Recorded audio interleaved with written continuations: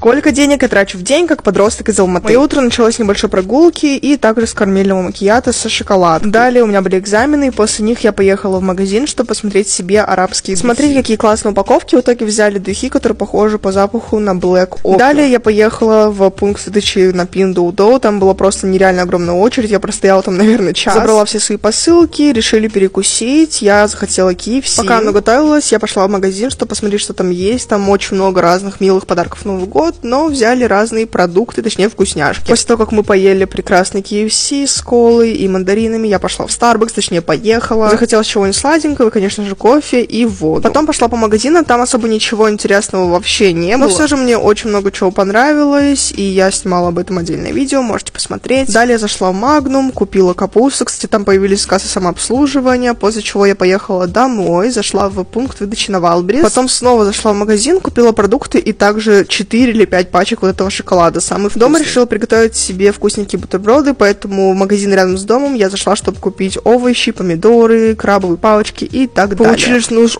очень супер вкусные бутерброды. В прошлом видео можешь посмотреть, как их делать. Также сегодня самый неприятный день месяца, потому что сегодня у меня списала куча разных подписок. Apple Music, Кинопоиск, Canva, всякие рисовашки и так далее. И итог этого дня 182 840. Что вы думаете по этому поводу?